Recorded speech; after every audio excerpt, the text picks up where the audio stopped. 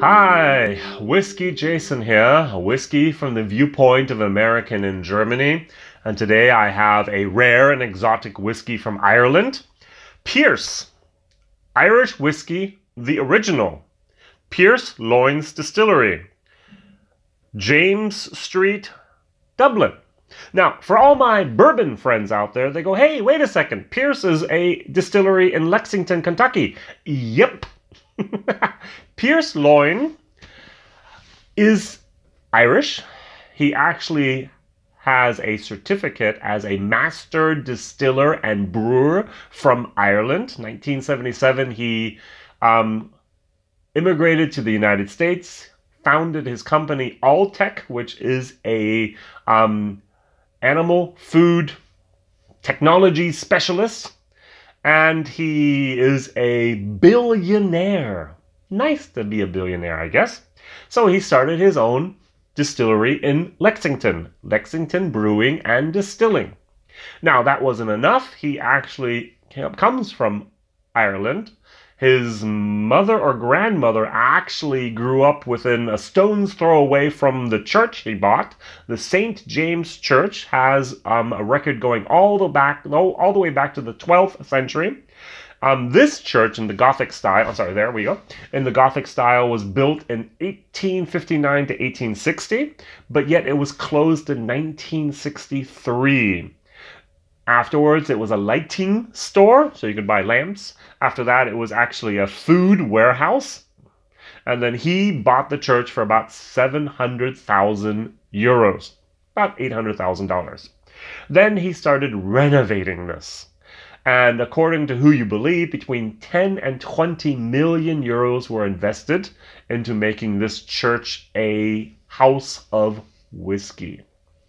So, um, even at the top, the steeple he had to redo. It had been um, taken down in the 70s, I think, because it was not maintained. And so he actually t- took 18 millimeter um, safety glass, had a steel frame, and this is now called the Liberties Lantern. Liberties is the district of London where all the different all the different whiskey distillers used to be and now are coming back. For example, um, I don't even have a Teeling bottle here. Uh, Teeling is there, and a few other people are also exactly there in the um, Liberties. Liberties because um, Dublin used to have a wall, and in within the wall there were the I'm just going to say the bad Brits that governed, and they uh, had taxed everything, but outside of the wall, we had liberty, freedom, and that's why it's called the liberties. They could do what they wanted to, and that's why there were distilleries. So there are different Pearse, Lyons Irish whiskies. There was the Founders Reserve, there was the Distillers Reserve. There are a total of four. I forgot the third one, and I bought the original because here in this blended Irish whiskey, there is single malt made from the stills that are in the church. Yay. So it's a blended Irish whiskey, only distilled, I'm sorry, only matured in bourbon barrels.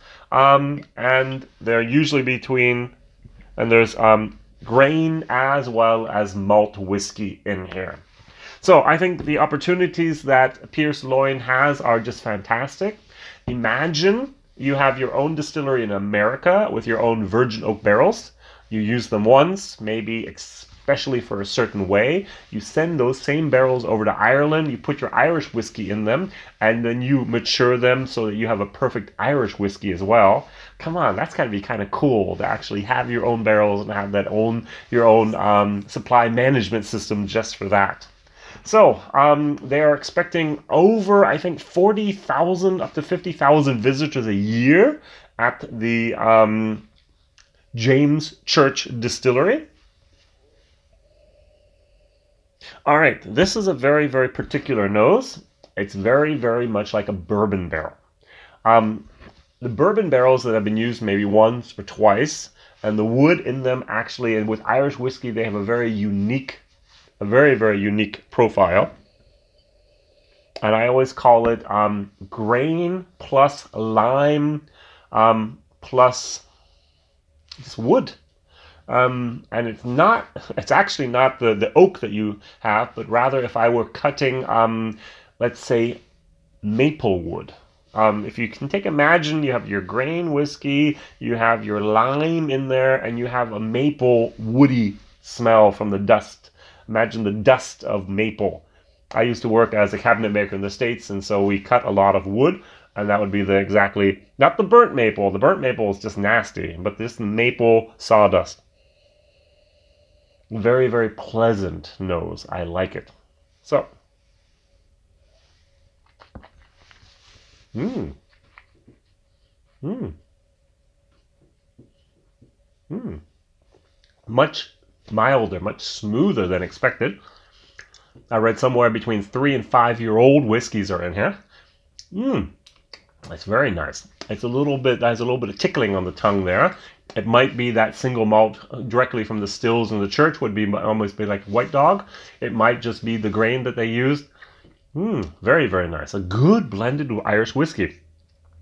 Um, online on the shop, I think I paid 49 euros for this, plus another 25 euros to send it to Germany, which is um, pathetic.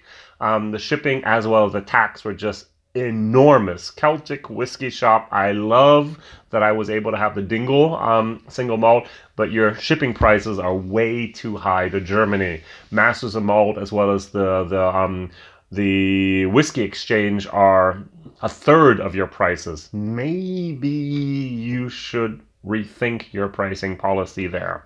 All right, Pearse Lyons Distillery from Ireland you're going to get a solid B for your blended whiskey. Wow. Um, I love the building. Yeah, at night and even at the church, you look just look at the church. You have the stills at the front. You actually have instead of the baptism at the left and right, you have those um, those containers. Um, very, very, very good stuff here. Mm-hmm. I'm going to give you a C for value for money.